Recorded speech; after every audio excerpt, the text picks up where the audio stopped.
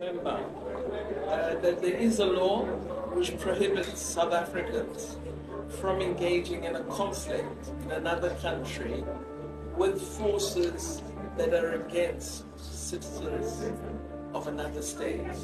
And uh, I alerted uh, South Africans who are conducting themselves in that way that it is the intention of the Justice Department that action will be taken in terms of the act that prohibits South Africans from participating in mercenary activity because to conduct yourself in that way is to become a mercenary.